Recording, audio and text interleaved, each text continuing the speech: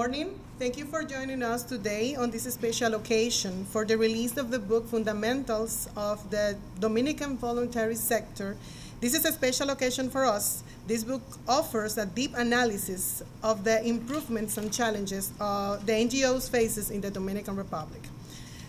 My name is Yamile Eusebio Paulino, acting co-executive director of the Global Foundation for Democracy and Development and director of educational programs and internships at our sister institution in the Dominican Republic, Fundación Global Democracia y Desarrollo. Uh, I would like to take the opportunity to thank the presence of uh, one of our uh, GFDD advisory committee, Mr. Anthony Davidson. Thank you for coming. Also, I extend our gratitude to Ambassador uh, of the Mission of the Dominican Republic to the United Nations, Mr. Ambassador Juan Avila, and of our friend Bill Cassidy. Thank you all for coming today and join us for this special presentation. GFDD and Funglode are dedicated to promote research and raise awareness through educational programs in all areas, areas concerning sustainable development in the Dominican Republic and in the rest of the world.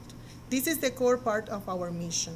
We seek to present initiatives that contribute to the public policy making at a national and international level. Another major part of our work is to sponsorship and present public, uh, publication series and researches of projects that address critical international issues from local to global perspectives. In this occasion, we are presenting the work of our fellow Megan Beddow. This research takes into consideration the external environmental factors and internal organizational characteristics that shape the voluntary sector of the Dominican Republic while illustrating a classic evolution of this endeavor in a, in a developing country. Considering the advances of the education, economic, sustainable development, transportation, and agricultural sector in the Dominican Republic after the end of the dictatorship uh, in 1961, the voluntary sector is facing some challenges, but is heading in a, the right direction even though the views of and, and findings contained in this book are solely the, the responsibility of the, the, author, GFDD is fortunate to have researchers such as Mrs. Meadow, Beddow, who triggers conversations among all involved in sectors and enhance our knowledge in areas that we might not think would be affected by political or economic factors. We hope this research will contribute to a better understanding of the world and empower readers to act in more informed, efficient, and harmonious way. Uh, also, I would like to thank Mr. Cyril Ritchie, the president of the Confederation of NGO Congo, to this support for supporting the, pre the presence of one of our speakers. For me, it's an honor uh, to introduce Mr. Liberato Bautista. He is the Assistant General Secretary for the United Nations and International Affairs of the General Board of Church and Society of the United Methodist Church. He represents the international non-governmental organization as main representative to the United Nations worldwide and has served in his capacity for more than 21 years. Bautista is in the immediate past president of the Committee of Religious NGOs at the United Nations. He's also the immediate past president of Congo uh, in between 2007 2011. And Bautista was chair of the Council of Organizations in New York uh, of the United Nations Association of the USA we can sit here and talk a lot of more about Mr. Bautista uh, because he has a very long-standing experience. But I think that we can uh, take a take a look of what we have given to you about the speakers' bios for this for this day. I would like to ask Mr. Bautista to join us, please. Thank you. Good morning. Thank you, Yamile, for the introduction. Welcome to the Church Center for the United Nations, uh, which is a United Methodist facility. Uh, we, we built this in 1963. My organization built this in 1963, largely with United Methodist women money.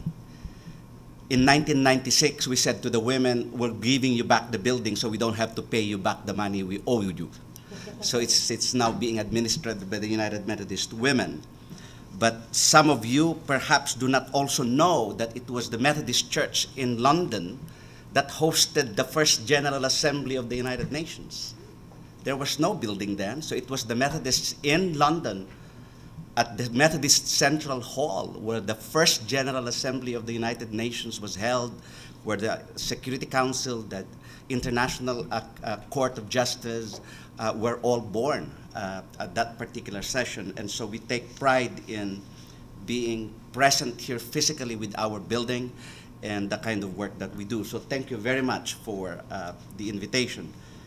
But uh, I, I, think I come here more in terms of my being uh, the former uh, president of the committee of the uh, Conference of Non-Governmental Organization in consultative relationship with the United Nations. Uh, Mr. Cyril Ritchie, the current president, who is based in Geneva, could not be here, and it is my pleasure to uh, represent him and the position, uh, not necessarily his understanding of the issues. So I, I blame only myself for some of the ideas that I, would like to present to you. Uh, the, the, the, topic is quite uh, an expansive one, the role of NGOs, uh, uh, and especially the importance of that role in relation to the pursuit of sustainable development. What I'd like to do today is to challenge you to look at that role not only in relation to development, which is one of the three pillars of the United Nations system, but to look at it more holistically in relation to the pillar that deals with human rights and human dignity, the pillar that deals with, uh, uh, with prosperity and development, which we usually just truncate it under the more popular uh, term, uh, sustainable development, and then the third pillar that deals with peace and security. That all of this uh, should be part of our imagination of not just statecraft. And for that matter, uh, Your Excellency, uh, thank you very much for indeed for uh, the, the abidance that you give to such an excellent non-governmental organization uh, like the uh, global, uh, I still keep, Global Foundation for, for Democracy and Development and its counterpart in the Dominican Republic, FUNGLODE. so congratulations indeed for a very timely and relevant focus, such as the revisiting and perhaps even a reimagination of the place and role of the voluntary sector, a category shared in many ways by the terms non-governmental, civil society, and in large measure the term private sector. And then there are terms which we also use, uh, sometimes too glibly, as to deny their analytical and even mobilization, mobilizational power. I'm talking of terms like grassroots movements, base communities or comunidades eclesiales de base, as they would say it in, in the uh, Spanish-speaking uh, world, uh, particularly those who are working in, in faith-based organizations. Uh, and then people's organizations, and such other terms. Another term that intersects these other, these other terms I have already mentioned is non-profit, which then raises a problem if everything that is non-governmental is lumped under the private sector, public sector being that which is by and of governments. There certainly is a wide swath in the world of private sector when we talk about access to resources, especially financial resources. So if uh, it's non-governmental and non-profit, well, the non-profit uh, straddles between the big NGOs who certainly are not, not for profit, but they have a lot of financial resources, and the grassroots resources whose fundamental capital is themselves and their vision and commitment for a just and democratic society uh, former staff of uh, GFDD, Mark Jordan, who I believe is now in London, uh, speaks of this in the preface he wrote about the report, which characterizes very well what I think I have just said. He says, the success of NGOs in achieving their mission has been mixed dependent on their size, network, geographical location, and other such criteria, unquote.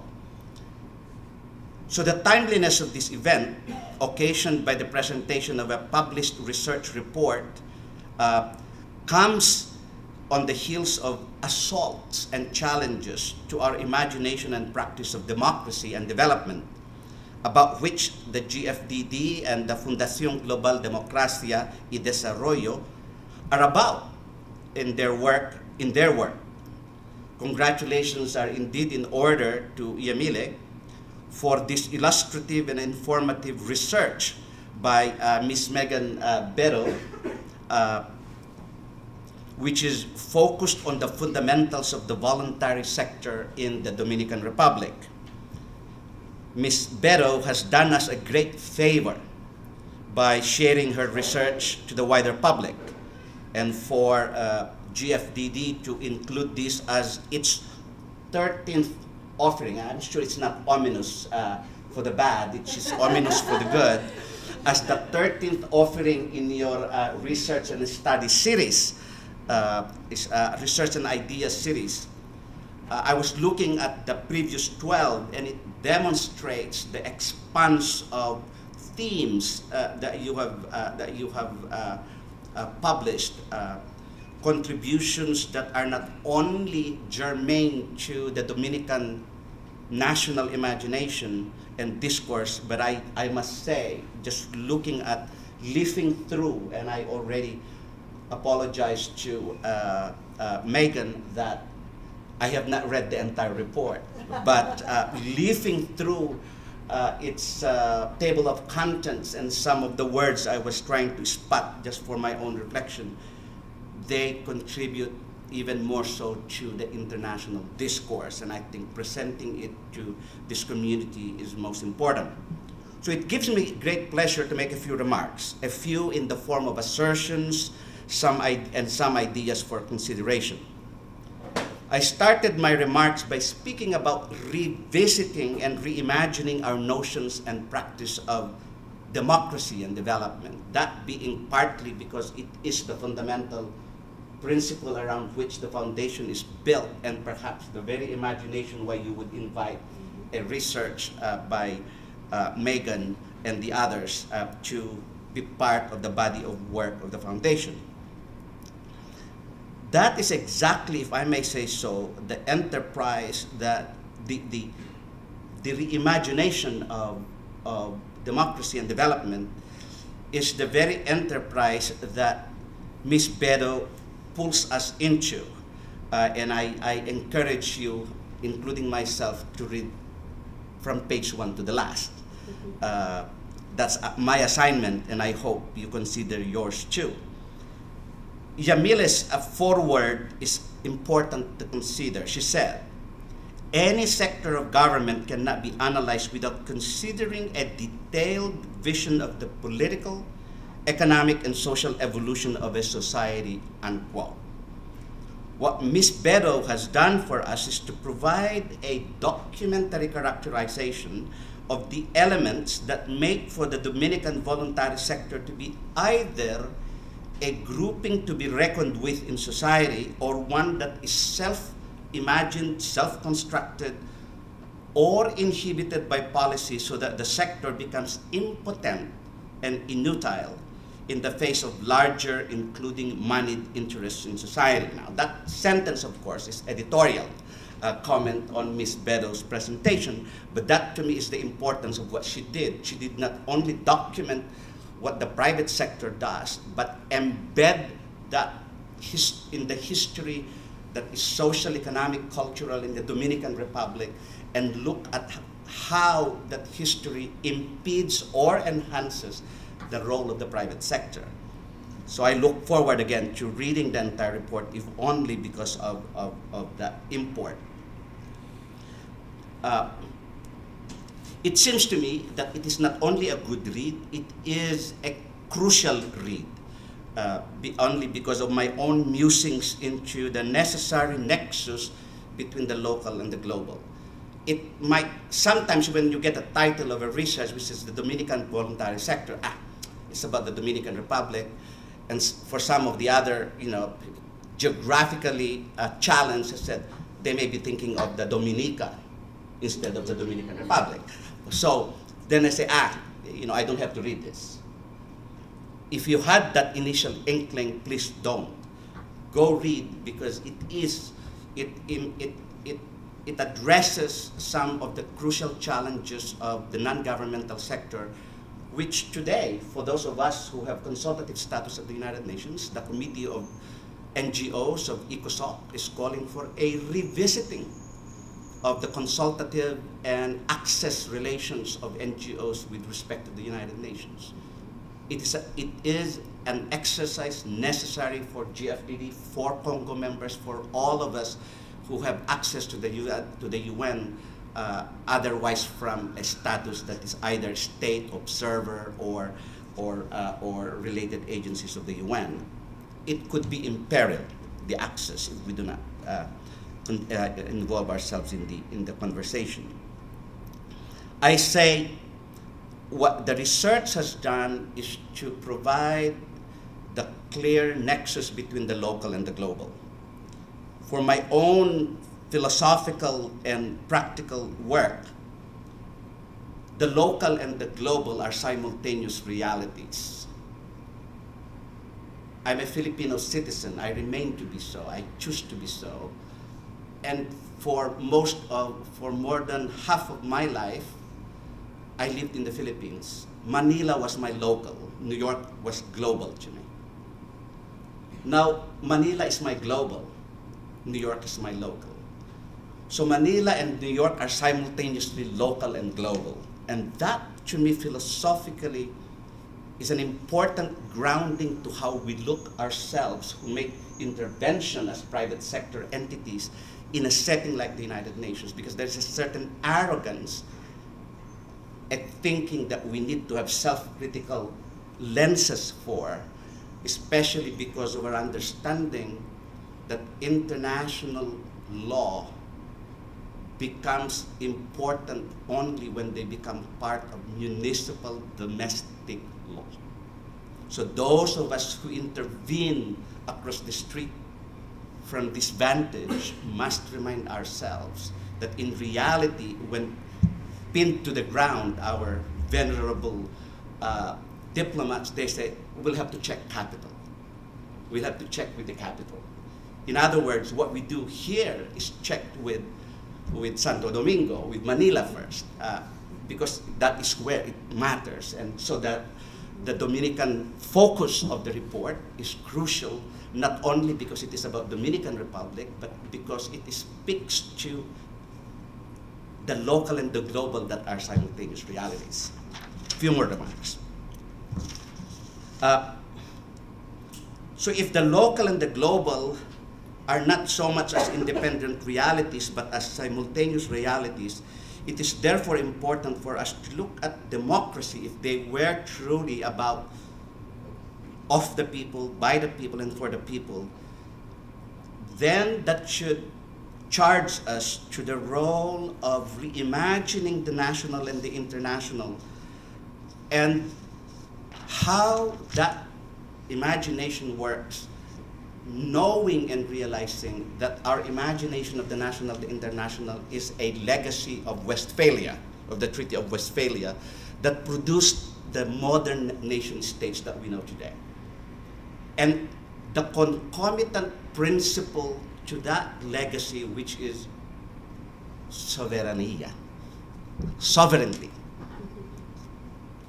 In a world of nation states, how do we then account for the role of NGOs, which we self-ascribe as necessary, and secretaries general one after the other, and well-meant international public servants of the UN system agree that NGOs are a necessary element, are, are, are important actors in a multi-stakeholder process at the United Nations. So as a sector that is needed, if not crucial, in giving if not sub- substance, at least semblance to democracy, meaning increased, expansive democratic participation in a decidedly democratic governance uh, framework that the UN and the member states come around together to agree, if not always, every now and then, when they craft a global compact on migration, intentionally fall out of the way. That's an editorial comment. Ms. Beddow seems to have invited us to look at the experience of NGOs in the Dominican Republic, in particular their participation in pursuing sustainable development goals in the manner imagined by the international, by the multilateral system, i.e., the production of Agenda 2030, uh, which is again just like its predecessor, uh, uh, Millennium Development Goals is the most acceded to and the most widely participated in uh, in terms of the many multilateral processes in the UN system. Uh, the most immediate contribution, I think, of, of, of Megan uh, is to the theory and practice of NGOs that is in making her report accessible to both the scholarly academician and the grassroots practitioner here's one book that talks about Congo. I mean, I have 13 books, academic books, actually, that have chapters on the Conference of the Environmental Organization. To check my sanity as a representative of an NGO, I write, I speak like this, I publish my work, I teach in undergraduate and graduate universities even up to now, just to check my sanity is my way of critiquing my own practice. Being a representative of the United Methodist Church worldwide at the United Nations already gives me the restrictions of what I can say officially on behalf of the church.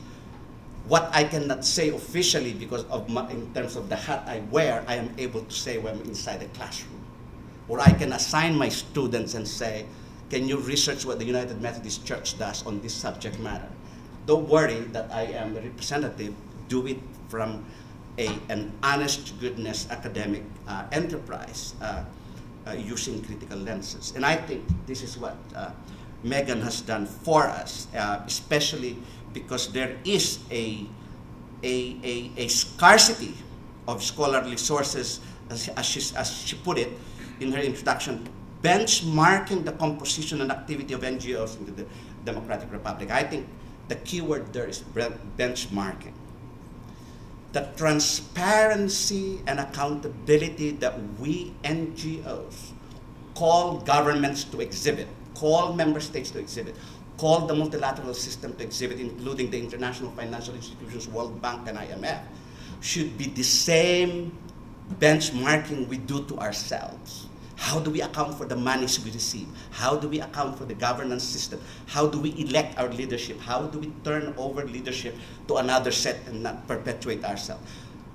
How do we not go into dictatorship again? How do we not dictate the mechanisms through which governance and the identification? And that is an important setting for your research because you have identified the experience of dictatorship in the Dominican Republic, one that resonates very well because my wife and I were underground activists during the Marcos period, uh, the Marcos dictatorship, and so I can the, the imagination of what the domestic NGO can do is important to be factored in in the multilateral, international multilateral system because in reality it is what the grassroots private sector does that truly matters. Uh, just two more remarks and um, the talkative me will stop. uh, so it has been my, the, the other part of, of the role I think that I've been invited here to, to be with you is, is again the, the, the role that I have played uh, with respect to uh, the, uh, the uh, of the Congo, the Conference of NGOs. Uh, it has been my good fortune to be a paid staff of an NGO rather than a volunteer staff because I've been able to put you know all of my work uh, not just in the representation that I hold but in relation to a collective undertaking which Congo is about. Uh, I have been associated with NGO since 1976. So this is what? 42 years. It's 42 years of NGO. I have known no other work except in the NGO world, and that was since 1976. In fact, I have known, uh, this is my 21st year representing the Public Policy and Social Justice Agency of the Worldwide United Methodist Church. In all these years, I have also been equally fortunate to have served, to have been associated with Congo, and it is in that setting that I met the, the uh, uh, leaders and members of GFDD. Uh, and as Yamile said, I served as its president in 2007 until 2011. Your theme on sustainable development is crucial uh, because crucial from the lens of Congo and GFDD is a respectable member of the board of directors and I believe you are coming to, to Geneva for the General Assembly of Congo, which will be held in less than two weeks, March 1, 2, and 3. And Congo has launched in October last year with the then uh, Assistant Secretary General Thomas Gass. Some of you, not many of you know him. He has since uh, gone back to Switzerland to, uh, to the Ministry of Foreign Affairs, but Tom Gass uh, came to Vienna at the meeting of the board of directors to launch the one-year focus of Congo uh, in support of uh, the Sustainable Development Goals. Uh, but the General Assembly in, in Geneva in early March will be the bigger celebration uh, of, of, of Congo's commitment and, and it will it will call on the substantive committees and our good brother there uh, Daniel LeBlanc is a very uh, a dedicated member of the substantive committees.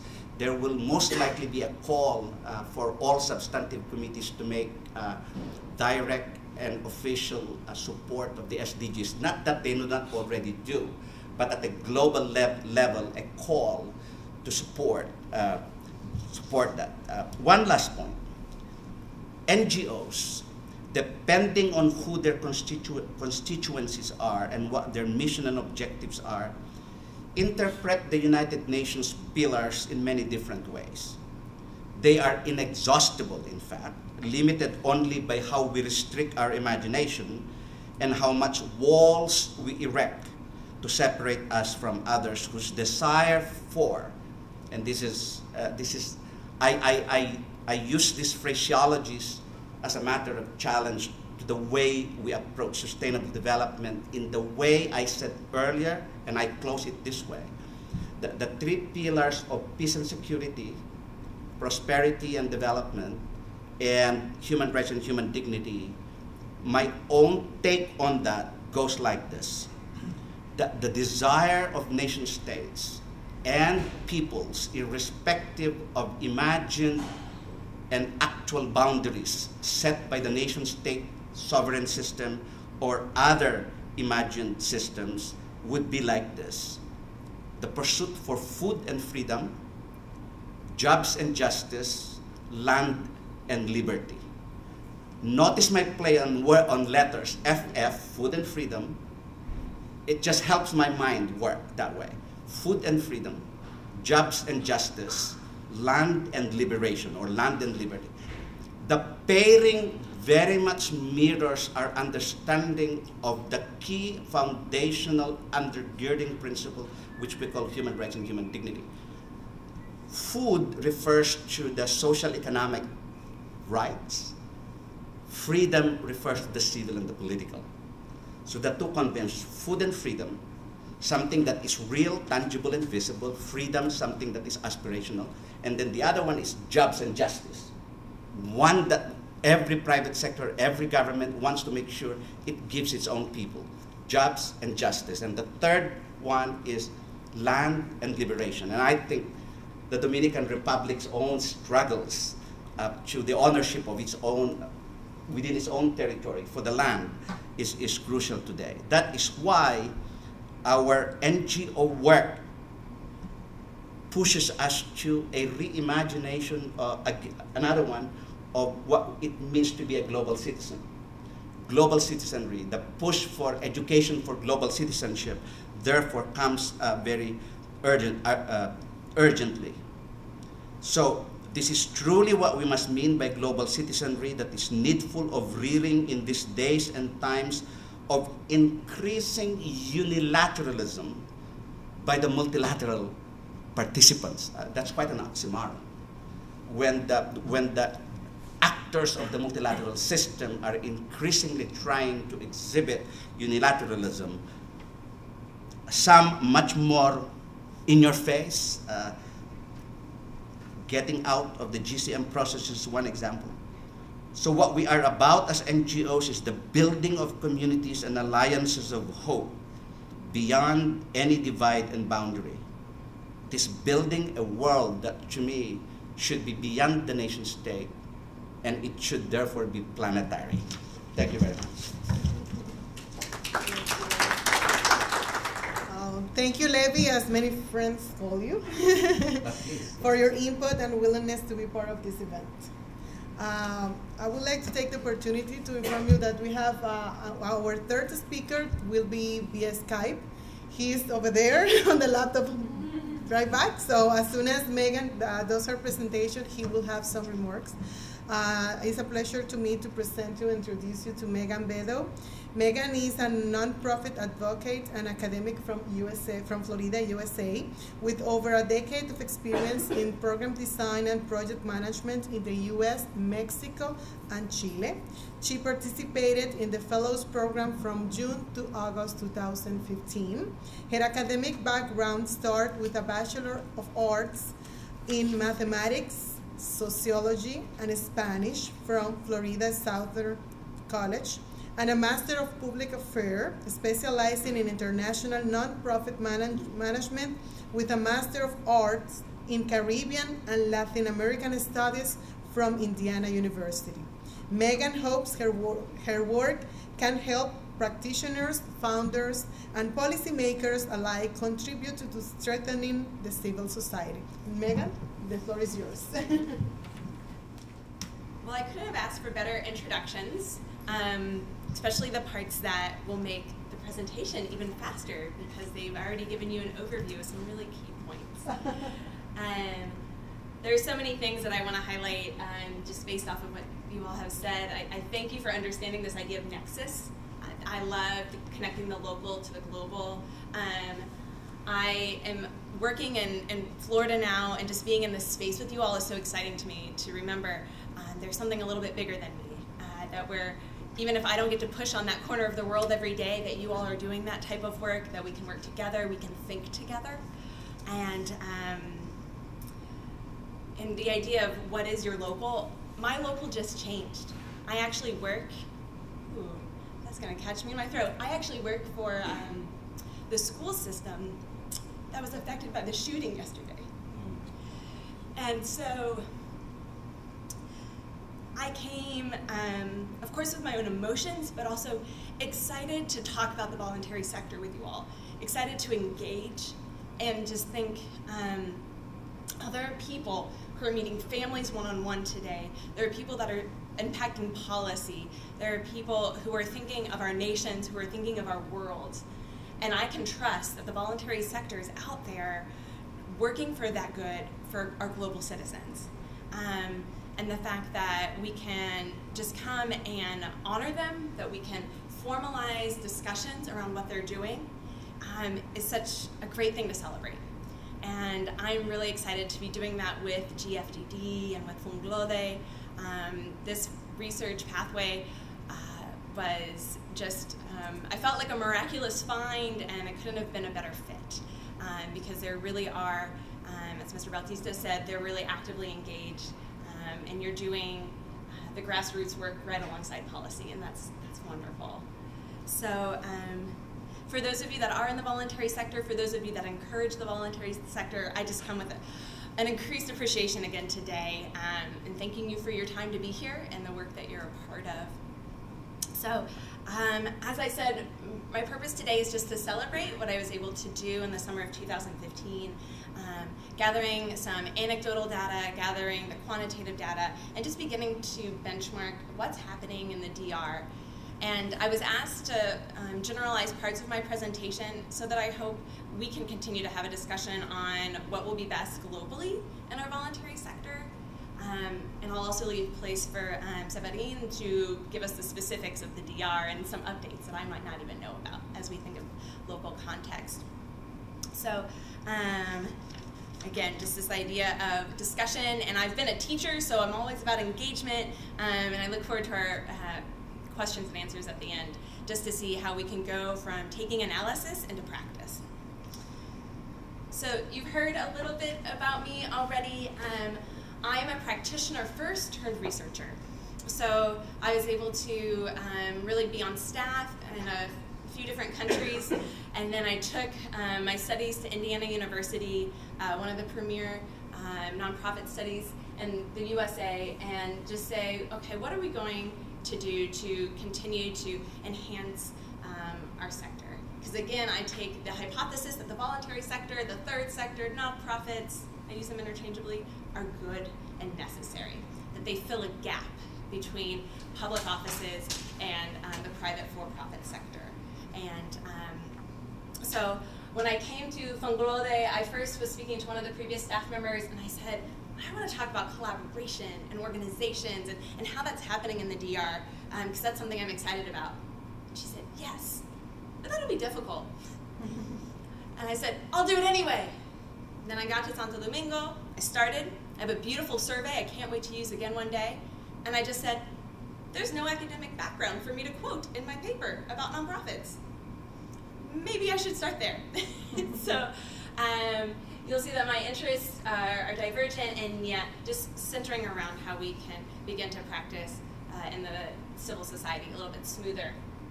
And then, thought on a personal note, you should know I really did work in the Dominican Republic. It has it all, as the national motto might say, um, but I also was able to enjoy the locations and the people personally as well as professionally um, through interviews and just my travels around the country. So thought I'd give a shout out to Las Galeras because it is fabulous. If you haven't been yet, I think you need a spring vacation. Um, so it's not my style to read everything, so I'm just going to go off of these slides a little bit, but for those of you that prefer it. Um, as um, was said in the introductions, there are a plethora of types of uh, nonprofits, and they can range from your local grassroots group, your community engagement, um, your neighborhood watch group, uh, and then they might become more formalized and they start to um, look like domestic startups that are focusing maybe on a city or maybe on a, one particular issue and they can grow and they can become national and they can become collective where they start repeating their regional offices um, to even this idea of this global international NGO that's uh, taking their mission and their thought power abroad and across borders. So this is a broad topic, this voluntary sector, whether you're doing it on a nation that's smaller or larger, the voluntary sector has a lot to offer. And so this um, preliminary kind of benchmark is just to say, what was true in the DR um, around the summer of 2015? What did we know about that time that enhanced NGOs and what might limit or prohibit them? So I took um, data from multitude of areas and then intermixed it with anecdotes in the report because, um, as Libe said, I'm interested in a practitioner being able to pick this up and maybe piece through and find something of import as much as it being um, the voice of the Dominican in this like academic sector. So um, I was able to speak with local practitioners across the country, different size organizations, and I mixed that with state level public records. Um, the Dominican Republic has a center for the promotion and development of nonprofit organizations, so I was lucky enough that they had a database um, updated somewhat regularly and um, there's even a 2017 list. I was excited to see there's new data since I was reading through everything. And so um, that and things like the public laws with the Attorney General's office then took uh, one filter higher to international statistics. Um, if you can't tell, I'm kind of a data head. You will be able to tell in the paper. I had to cut a lot more out than I looked into. but it's exciting to use work from the United Nations, from the World Bank, from International uh, Development Bank, and these type of global thinkers, and pull them together and say, what's really happening um, in a broad uh, macro environmental sense. So the structure of this investigation um, was overall to look at the macro environment and to see what are the things that are happening in the DR that we can maybe hold constant so that after we know what's happening in the external environment, we can look at an individual nonprofit and say, hmm, what's going to be best for your success? Where do you want, what strategy will fit? Um, and so my main pillars, again, there are more I'm sure you can think of. I functioned, um, or I formulated my analysis around the institutional factors, the political factors, economic, and social. And um, just for a little review of what this might mean, and again, to get down into what the work looks like. On the institutional side, looking at the formation, the infrastructure of things like the laws and the national processes. And the DR Law um, 12205 oversees how nonprofits can organize, how they register, the necessities of a board, and um, different ways that they be can become formalized with the state. Again, um, not all nonprofits are formalized, but that is one way of um, seeking legitimacy in, in this context. And processes also include things like um, how do you apply to get nonprofit status? Um, the DR happens to have a way to um, receive a grant from the national budget. What does that look like? What's the timeline? So those are the things uh, I consider institutional. Move on, and um, for any context, the political context um, is constantly changing, and it gets as simple as um, what type of government do we have? How many parties are there? How often are they changing? Are they interacting? Who do they represent? And within that are organizations. Do they have their own politics? How do they engage with that national scope? Um, economics, I was able to really think about how the DR is um, a growing economy, what that means as we begin to uh, seek investments, what priorities are from the national stage, and even when possible um, individually. Where is where are remittances going? Where is the kinship money flowing? Um, one observation on nonprofit legitimacy in the DR at the time of my writing um, is that the federal uh, average wage for someone that might work in the sector was lower than the market basket. Meaning, if you only worked for a nonprofit, it would be difficult to pay for the basic necessities for your family of shelter and food, transportation. And so I saw, uh, at least in my observations, this led to um, a more youthful professionalism in the nonprofit sector, maybe before families were larger, or maybe um, you're still living at home, or maybe you're volunteering while you go to school. And so it'll be interesting to see if and how that changes. Um, because I know myself, I've been blessed to be employed by a job, and it was great when it could be my only job when I worked in a nonprofit. And so um, that's one factor. And we just finalized with social, which is probably just as clear as the others, but we're thinking about demographics, thinking about the religious background, social class, um, and just anything that really defines that local context and might come into how one organizes their nonprofit. So I took these external factors and I tried to streamline that a little bit, but it's packed. I promise I cut out more than half of it in the paper. It was hard for me to reread it when I picked it up years later. I, you know, it, it's a good skim read. It's okay. Uh, it's acceptable. Um, but really just looking at these external factors and saying if these things are true and we hold these um, as constant, then I want to look at the individual NGO. And there's different ways that it might define itself. Um, just like your own identity, you might choose one thing that's a priority over another.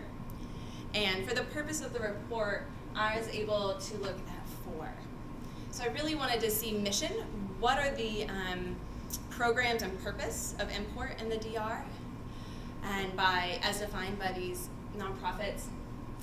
The reputation um, is a word that I use to speak on kind of the size of an organization. How um, has it been able to sustain itself? How long has it been around? How many employees does it host? Scope in this context is the idea of are we looking more at a neighborhood, a municipality, a region, international? Because of course your strategy changes based on your population. And um, the site of incorporation, I'm interested to look at how many domestic NGOs versus international NGOs were formalized. And for me, I really found that most interesting uh, when we think of funding streams. So how is the money coming in? Who's funding this work? Who's telling us it's important or otherwise? So I only threw in one data point for you all, um, but this was one I found really interesting. Out of that national registry, and so these are only what we're gonna, I keep calling the formalized nonprofits. There are a lot that aren't included in this data. Um, in 2015, there were about 5,200 organizations that were registered. And, I'm sorry, this list is only 5,218. Did I write the note? It was over 6,000 that were registered. But these were the top um, missions of those types of organizations. In the Dominican Republic, there's an opportunity for um, governmental persons, legislators, or the executive branch to set up an organization. And so at that um, counting, over 2,000 organizations were presidential of this note, um, and they could have been for a mismatch of uh, missions.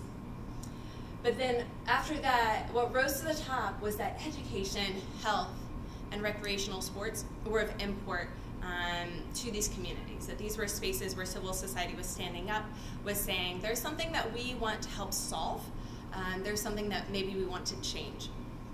And so um, that in itself, I think, was a strength. You'll see that it aligns with um, AIND, or Estrategia Nacional de Desarrollo, the National Development Strategy for 2030 in the DR. Um, this education and health really works through uh, the idea of lowering poverty and um, limiting inequality.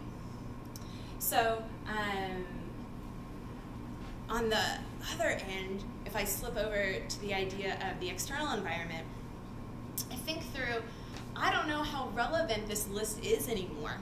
I don't know that there's time where people are able to piece through and pull out groups that have disbanded.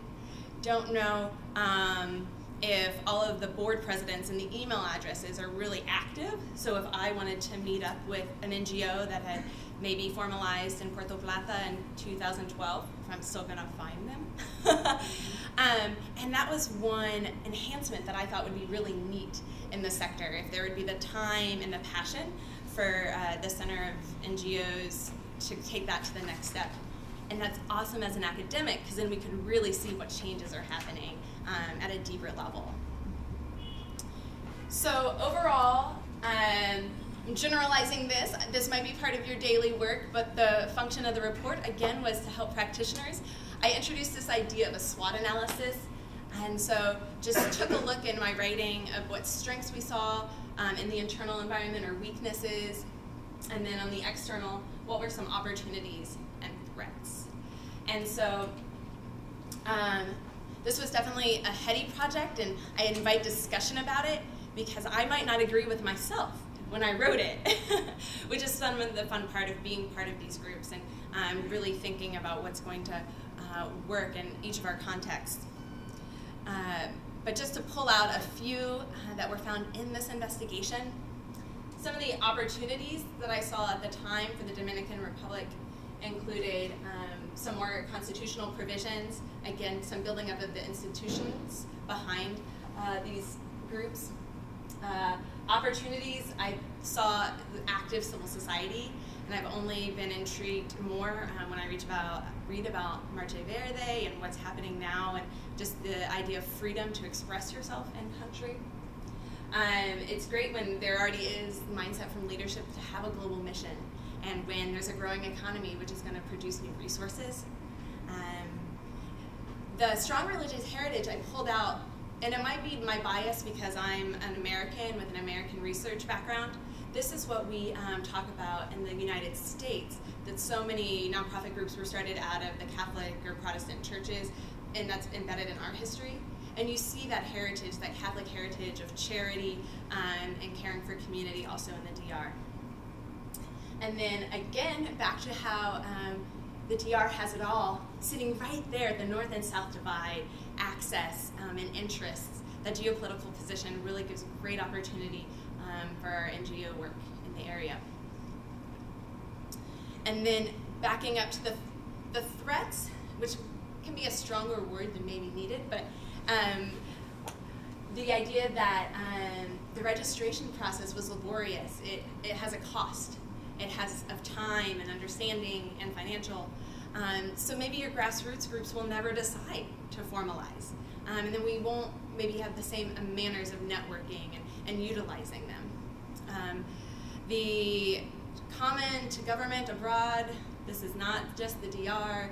We use our blanket words of corruption and clientelism and public mistrust, which can maybe mean different things to each reader. Um, that's all NGOs. um, access to education and economic inequality. We see a lot of data from international groups encouraging even more changes in that area in the Dominican Republic. And um, moving to the last one, it, there can be a lot of centralization in Santo Domingo. I was lucky to have an opportunity to be placed there and see some groups um, and how they're able to work together. Alianza ONG doing great work in that space. Um, but when we think of our smaller groups, we also have to think of our groups that are more um, outside of that initial box and that might be looking for some of the resources, even just to register in their local um, AG or Attorney General office, or um, maybe looking for more workshops or more publications that come to them rather than them having to come into the Capitol. So um, again, all fodder for discussion. And I'll just close and, and open a time where we can speak a little bit more about what NGOs might need. Um, again, holding that the voluntary sector is good and right. What are um, we doing as a global society for our global citizens? Because I think people in the voluntary sector are passionate and want to find solutions. How are we going to get there together? And so um, I really just want to invite you to think through some of these ideas with me, how we might be able to streamline our processes, how we might invest more in our social and economic capital, how we might enforce accountability measures, and not only how we might, I'm interested to hear how you've already seen it done, what improvements you know of, because when we can take good case studies and replicate, we'll all be stronger. So again, I thank you for this time and just look forward to the discussion all of you.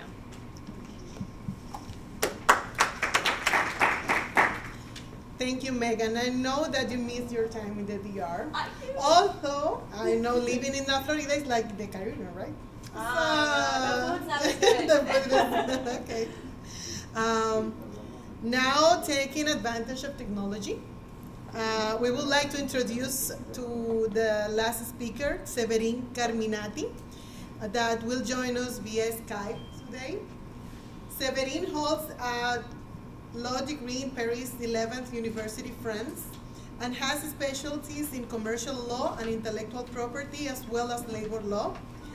Has been working for almost a decade with NGO non-profit organizations in the Dominican Republic and since 2013 holds the position of program officer in Alianza ONG a network of the third one 31 Dominican civil society organizations working to contribute to the sustainable development of the Dominican Republic by promoting, coordinating, and guiding the role and contribution of non-for-profits. He previously worked as a director of the training and volunteer of the organization TECHO in the Dominican Republic. Thank you, thank you uh, um, thank you, Yamile and, uh, and the GFDD for this opportunity. Really happy uh, to be here uh, today with you, uh, thanks to technology. Uh, first of all, we'd like to, to praise the initiative of the Fellows Program of the GFDD and, and this many results as highlighted by Mr. Bautista. and it's really important indeed to, to help understand better the Dominican Republic in general and its challenges, and in this case, the, the challenges and opportunities of civil society. So I'm really glad to be here and to bring a little um, granito de arena, a little um, uh, to uh, the, the debate and the discussion. So, the, first of all, uh, and I would like just to, to briefly like, the work of Megan is, is really interesting and we've been missing such uh, academic uh, study of the Dominican Republic civil society sector. instead of NGO, we like to use the civil society organizations. here in Alianza ONG, uh, it's not difficult to to to pick to have to have a, to use a word that can actually reflect the, the, the diversity of uh, the non-profit sector. And uh, as uh, Megan was was uh, saying very correctly, because we're talking about community-based organizations, faith-based organizations that are usually linked to, to churches.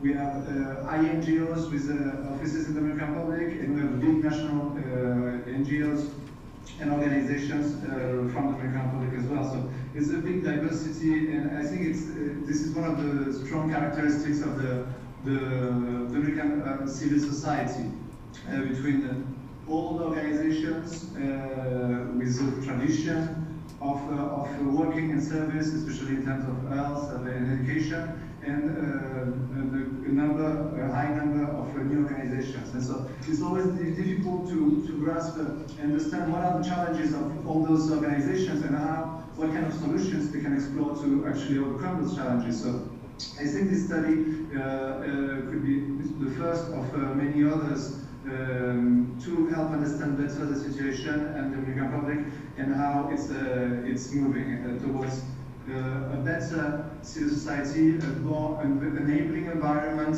uh, of work for uh, citizen civic action together with the government and the private sector uh, working together to work towards the SDGs and the, the sustainable development. Because uh, now with this global agenda, we have some really clear lines and uh, objectives and goals to, to achieve, and we only know we know that we can only achieve it working together. So um, that, that's uh, that's uh, for starter. In, in, in this um, idea, and there are some things that I've been uh, I've been feeling in, in the, the, presentation and the report by uh, by Megan, in which uh, uh, maybe it's because of perspective, but it's the idea that uh, civil society and organizations uh, sometimes needs to adjust to uh, local context. That uh, some missions uh, working with the most vulnerable uh, sometimes are not valued by the public public sector and the Dominican public, or difficult with difficulties by the international cooperation organizations and so. and this is something I think is quite important to uh, acknowledge the importance of our civil society needs to lead uh, the, in this uh, challenge of uh, the sustainable development. And we cannot leave anyone behind. And so I think it's really important that even though we have a wonderful um, and beautiful institutional framework with the Estrategia Nacional de Desarrollo and uh, in its application and implementation by the by the government, I think many organizations are aligned to this uh, this tool and mechanism I think it's important that it doesn't matter if your organization is working on a topic which is not uh, included, because this document is not Desarrollo is not it's good it's good document, but it's not perfect, and so we cannot limit ourselves to what's in there. Uh, and so I think it's really important to, even though some sectors working with migrants, working with LGBT communities, working with uh, um, HIV in the Dominican Republic and uh, sexual and reproductive rights.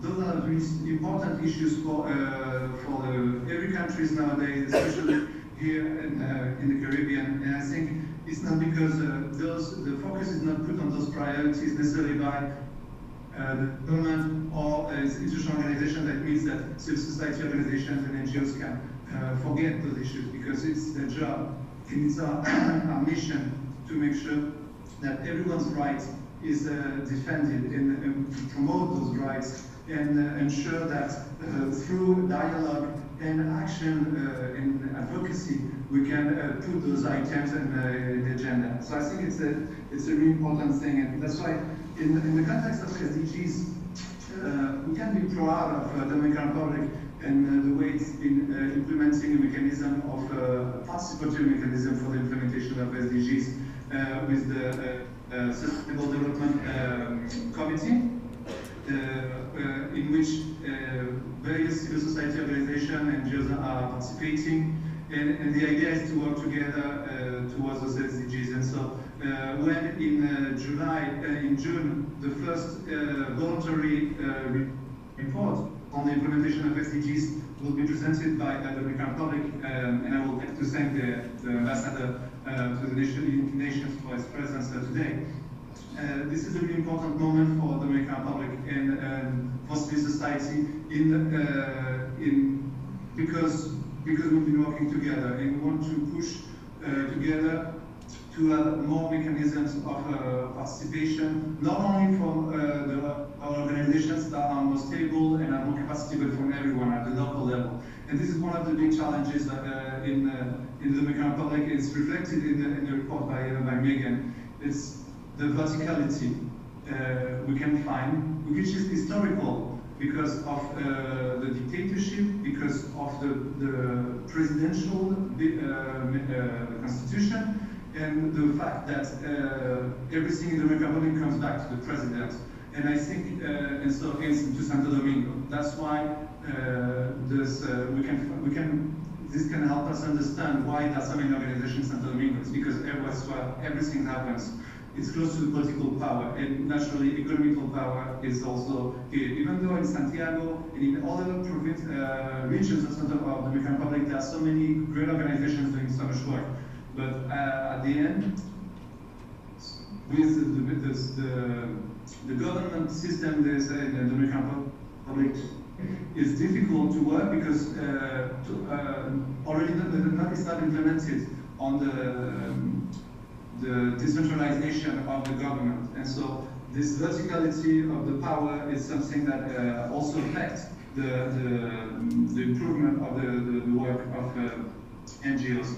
And uh, there's one point which is really important is uh, regarding what Megan was showing about the, the presidential NGOs um, in, in, this uh, this little chart, and it's because the organizations that are, are uh, registered to work with presidential uh, with the presidency are not are not necessarily uh, created by legislators or or the president or government. On the contrary, this is exactly what happens when uh, a tradition of decades of uh, charity managed by the central power makes uh, many small organizations be like, I can get help, I can work, get to work with, uh, let's say, the health ministry or the education ministry. Let me go straight to the president. And that's unfortunately something that uh, a culture of uh, verticality that is still ongoing and is something that needs to change. And the government is working on that, uh, especially the Center for uh, Promotion of uh, Non-Profits, which uh, on the past two years, I'm sure that Megan will be happy to hear that, has been moving uh, quite fast towards a better implementation of the legal framework, the, the Ley 122-05, uh, the law uh, 122 05, which uh, uh, creates the, the, framework for NGOs in the Dominican Republic. It has some really interesting mechanisms and, uh, to promote the work together of organizations and line ministries. And that's something uh, that we've been seeing some really big improvements uh, on those past two years in the capacity of this center to uh, improve its registry of uh, organizations and with the help of the World Bank, uh, now we have uh, a really good um, ITC system, technological system to register organizations that will allow this year to, to submit um, grants uh, to ask for grants through this portal, as well as uh, some really important uh, agreements between this center and the Ministry of Economy and with the tax and revenue institution, uh, the AE, and other uh, really key organizations in the managing and overlooking the, the work of NGOs in the Dominican Republic.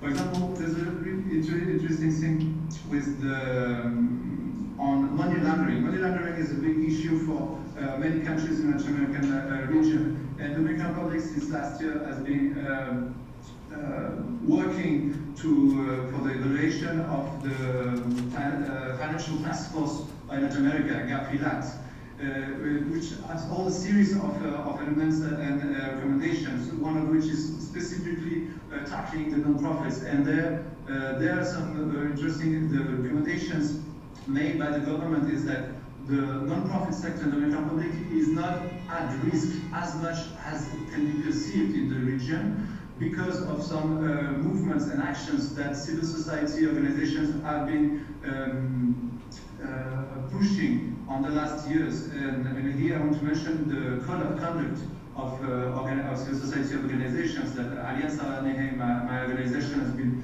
uh, working on. And since last year, we have almost uh, 100 organizations that um, subscribe this kind of conduct. And I think we think it's a really important uh, step towards uh, better transparency and accountability of uh, NGOs because this is the key for the, to uh, manage uh, legitimacy of organization and the sector in general.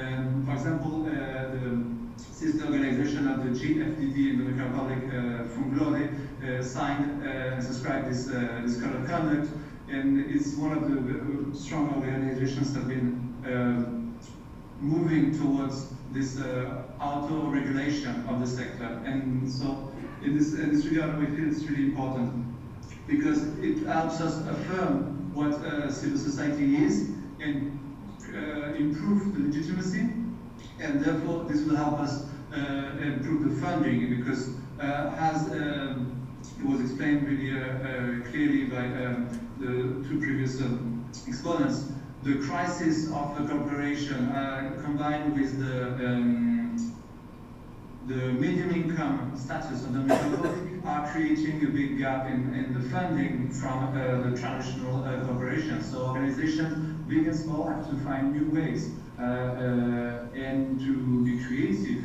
and to go towards crowdfunding, uh, private sector, individual funding, and uh, there's a big change and there's, a, there's some interesting actions from organizations on this regard. So yes, it's a big challenge in the funding, but uh, also also to uh, to solve. And just looking at notes one second, I, I have a couple more minutes, right? Yes, two more minutes. okay, thank you. Um, so um, yes, to to to finish and and good. Uh, so yeah, this challenge of legitimacy and is is uh, is really important. And uh, the general public in the Dominican Republic is not always trust doesn't trust NGOs, uh, especially NGOs that come from abroad. And so this is trust is something that is so um, feeble and difficult to build, to build. It takes time, energy, and commitment. And uh, you have to look at the at civil society in the Dominican Republic with this eye of diversity. And most of the most organizations are on the really community level. We're talking about the neighbor groups. But at the end, those are the ones that are called to have the, the bigger uh, impact uh, by the numbers and the, the scope of their action because we have a law in the Dominican Republic for participatory budget on the, on the local level with the mayors and the cities in which uh, small organizations and neighbor groups can be uh, uh, looking for funding for the community activities. And, uh, and, and because this sector of the non-profit in the Dominican Republic, we have to look at it through this eye of uh, professionalization of our practitioners, uh, as uh, Megan was saying, but also through the eye of volunteering because it's a voluntary sector, but volunteering is key to uh, the civil society and the public in the non-profit sector. Um, in, here in Alianza ONG, we've been doing uh, some, studies about uh, volunteering, and we found out um, in 2013 that most of the volunteering in the Republic was done by people under 30. And so we, there's a, a, a strong involvement of, of the youth in volunteering activities. And so, and on this volunteering depends the, the survival of the, the civil society because funding is low, capacity is, is uh, to, to pay and to have employees is, uh, is not uh, easy for everyone. So many, many organizations rely so much on volunteering, and that's one of the things that have been also uh, uh, highlighted by Megan in, her report. So I just wanted to stress how important this is uh, to continue uh, foster the values of solidarity and uh, especially volunteering because the non-profit sector in the Republic depends on everyone and, and it's in its capacity of getting, moving and getting some funding from individuals uh, through remittances that are really strong uh, in, uh, in, in, the case of the Dominican Republic, and other strategies to achieve more stability and recognition in order to, uh, in, a, in an effective relation with the government and the private sector towards the sustainable development. And here, on, the, on the last point, academia and universities are so important for that because it's uh, the only way to build capacity within Dominican uh, people to uh, actually uh, improve and work on, on the civil society and non-profit uh, sector is through the opening of masters, of courses, of um, all a series of workshops and, and opportunities for people to get the skills that will allow them to work more efficiently in organizations. So uh, again, SDGs is a complex and uh, ambitious uh, goal, and we understand here in the Dominican Republic that the only way uh, the government can make it is, and the country can make it, is working together with civil society, as it's been starting to do, and we're looking, we're always advocating for more uh, space uh, for the participation of uh, civil society organizations, working together with the private sector uh, that can help for funding and, uh, and to uh, amplify the, the scope of organizations and also with the academia uh, for the in the academy for the improve to improve the capacity of the sector. So uh, those are some brief comments, and uh, here I'll be uh, really interested to, to hear what the, the, people over there in New York have to say, and to continue talking about this really interesting topic. Thank you for attention.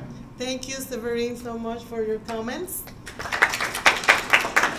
Uh, I would like to open the floor if anyone would like to say something or any comments. Uh, there is a microphone. Please present yourself. Ambassador Vela from Dominican Republic. It's, uh, okay, I want to say thanks to Megan for taking time. You went to DR. You spent some time over there. This is uh, very good. Uh, I got just one question, uh, one comment. Uh, thanks to Severin, he's uh, understanding very well the, the role of the NGO and, and, and Dominican Republic. Very good. My question is, uh, uh, Megan, by any chance you coming across to how the voluntary sector in DR really making some impact in, in education and, and social and see uh, I, I know we as a, as, as a country, we have so many problems. It's not, a, it's, it's not easy, I know. Why the government, they don't trust sometimes in the military sector. I saw you, and you, you for graphics, you put it the international statistical databases. I don't know if you, if you look at the local databases. Sometimes people, they don't trust in whatever numbers the government put it. See, we know all this is. But my question is, we have, we have to find a way because the government put money in all these NGO. And the national budget would, give money to them. So we had to find out what is the impact of this NGO they make in education and the health. See, we have to find a way. And uh, something we have to try to, to do is we have to create an organization who can bring all these NGO together. Sometimes they don't have no idea what they're doing. They just, they just, I don't know. They just create an, an NGO. They going out looking for her. But we, we, we need an umbrella. Some, someone who can say, okay, guys, we have 45,000 NGO in education. Everyone doing whatever they want. They don't know exactly what to do. You see, that's something I would be very happy.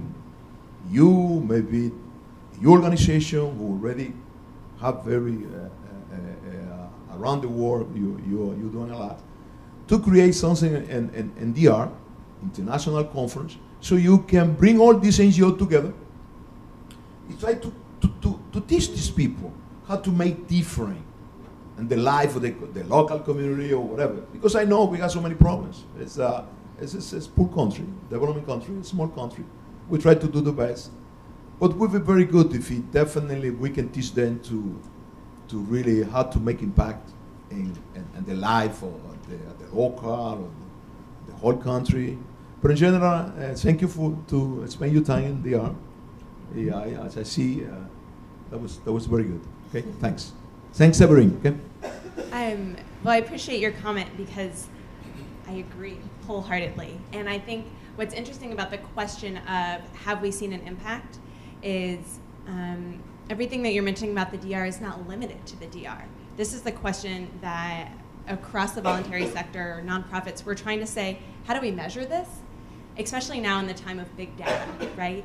Because I can tell you, and you asked, you know, did I see this? And I did because I saw practitioners um, in cities and summer camps and um, pulling girls that used to be in sexual abuse and going and taking care of their emotional needs so that they can study and learn in a different way. So to me, I would say yes. Within the timing of my report, I saw that. But um, these are the same questions that we should be asking um, at this national level as we do on the um, Millennium Development Goals and things of that nature. How do we really measure what moves the needle? And um, there's a probably a lot of excuses about why we don't know that yet, right? Timing, professionalism, agreement on what needle needs to be moved and how, um, and even just funding. But I would say you you've opened that big area that is a great question that people really should step into um, in the DR and across the world.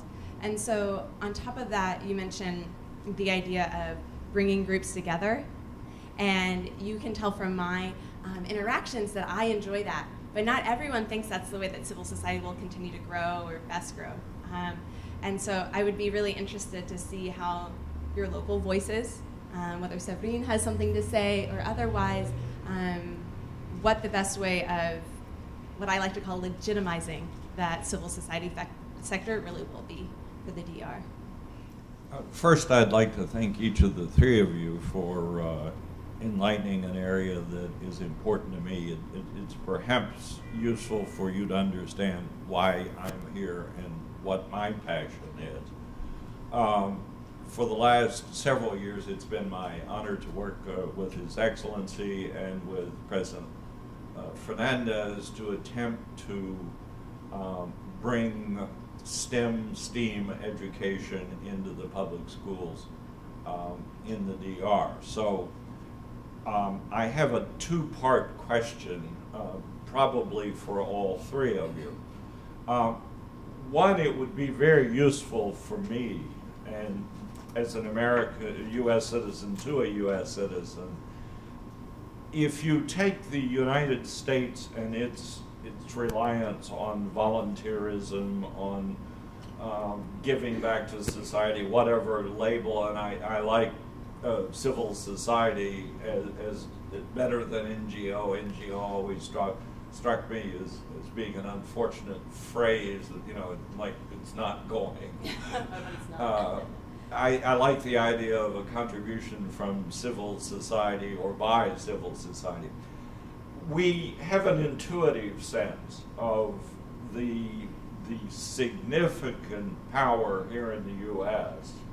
of contributions from civil society through volunteerism, through aggressive contribution, through a whole history of organizations from the Red Cross to the Salvation Army if you were going to take that, say, for example, as a five, how would you, based on the data that you've gathered, how would you rate, just as a guess, where the Dominican Republic is? Awfully unfair question. It is, but I actually can't wait for correction if I'm not agreed with. Um, I would put it squarely at three, and that is as much from what I saw as anticipation of all the informal groups and the work that they're doing. Um, and people like Ms. Bain from Alianza ONG was remarking to me. So if I didn't see it or the numbers aren't there, um, that there is a ground swelling. So I would say a three. So is it a three in participation or a three in efficient? Ooh, participation. Okay. So there are a lot of people, what I, let me make sure I understand you. There are a lot of people who would like to participate. It seems from all of the discussion that seems to be somewhat fractured. Mm. So I would certainly echo what His Excellency said, which is it sounds like it might be a rare opportunity for some organization to be kind of the the pulling together of these these civil resources and say, okay, we're going to work on HIV, we're going to work on LGBTQ, we're going to work on education, education for a workforce specifically, education for a workforce moving towards global citizenship. Uh, if I, it's just a gratuitous comment, but uh, it would. What I hear you say is the society may be ready for that, and it's just a question of how somebody could pull that together. Again, let me thank you for your. Yeah. I think that the wide expanse of mission and objectives of NGOs contributes both to the promise of NGOs as well as the confusion that that practice generates. In other words, uh, say for example, uh, if we are to agree that working together on common public goods, if human rights and human dignity is a common public good, as much as democracy and development being public good, then imagining the collaborative platform based on the implementation of the Sustainable Development Goals, Agenda 2030, becomes therefore a venue where the, the imagination of government officials about NGOs and the imagination of NGOs about government officials come into play because they work together in pursuing certain common public goods. I think that's what uh, the, His Excellency is saying about coming together, exhibiting the best of the accountability, the transparency, the mobilization of funds that are accountable, and what's the provenance of this money, and how is it being spent, what is it, its impact. Sometimes they are far more imagined than real. And it becomes real only if we work together and, and to me, the Sustainable Development Goals and, and its targets are a rich, it provides a rich possibility for exhibiting the good intentions of, of, of the two sides. Uh, uh,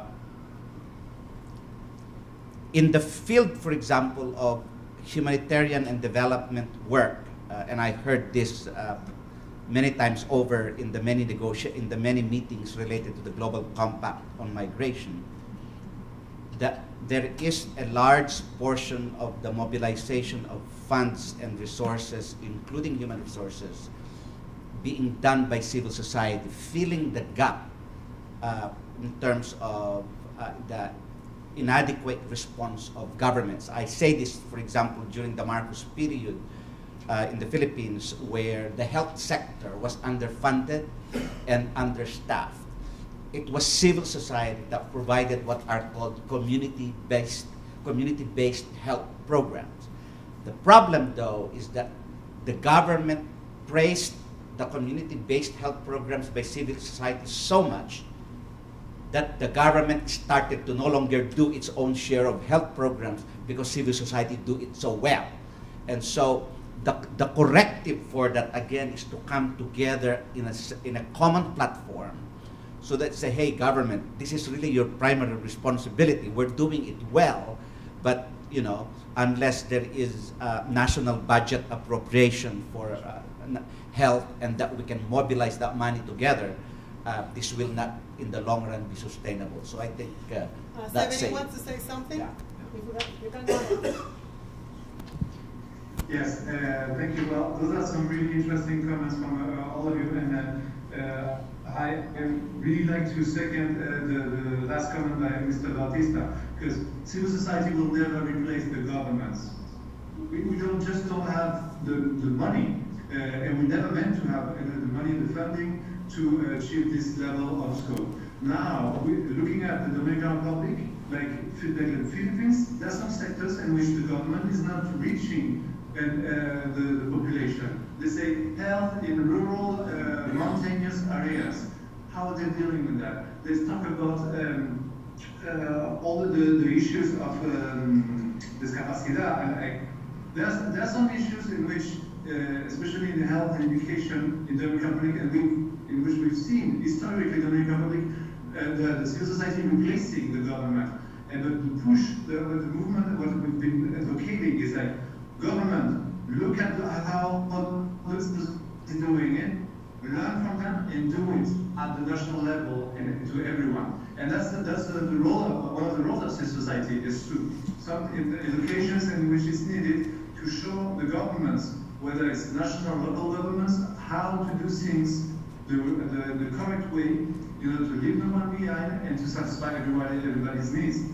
But and this is the advocacy that we, we, uh, we need to do. And so this is the only way to, to make it work because we will never have the capacity uh, to, uh, or the funding to actually uh, provide services uh, that government should do, uh, should provide. about the, the, the, those, those two, two, brief comments about the impact and the, the network and how the idea of having those uh, super uh, network of NGOs that would, uh, there, there's some, the, the sector is quite organized so, on certain uh, topics. For example, in, uh, in health, in childhood uh, issues, there are some national networks that will work this issue to, with, together with 50 or 100 organizations focused on.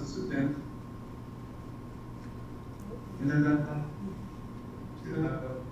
for example. It's like the, the, the Women's Group, the uh, microfinances, all those organizations are working together in uh, thematic and uh, topic uh, networks. Uh, but it's not possible to do it uh, at all the levels because of, again, diversity. And it's something with, with civil society is like, it is so difficult to be able to um, accurately um, represent and delegate the voice and the, the ideas and the, the, the diverse missions of organizations within one single organization. So that's why we always advocate for uh, um, activities that would allow for more participation, more people from a diversity of regions, not only uh, uh, and capacity bingo, but also in the, the, different cities of the countries, because the only way is, uh, is to work, uh, yes, with networks, but we cannot forget that every organization is different, has been created in a different context uh, by different group of people, and it's important to respect.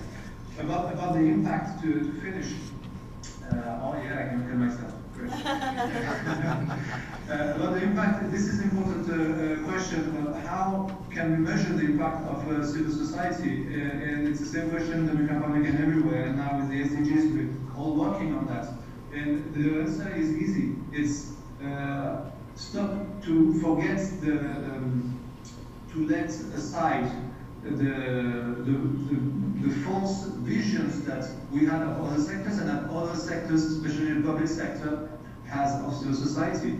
Because the only way the government can include uh, civil society organizations, impact and uh, activities and programs within its work towards the SDGs is by listening to them, inviting them to participate in, uh, in, consult in um, uh, consultative processes and mechanisms, is listening to them because historically the government has been looking civil society as like charities, like, oh yeah, it's nice what they do, it's great, we're happy to help them. But it's not about helping them, it's about working together. And it's something that needs to change. At the global and local level, it's the relationship and the power relationship between uh, uh, international organizations, governments, uh, private sector, and NGOs, and civil society in general. Thank you. Thank you, Severin. Thank you, Megan. Thank you, Levy. It has been a pleasure to have you all here talking about the importance of the NGO and the voluntary sector, not only in the DR, but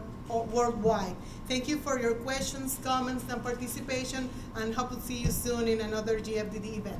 Good evening. Thank you, Severin. Bye-bye.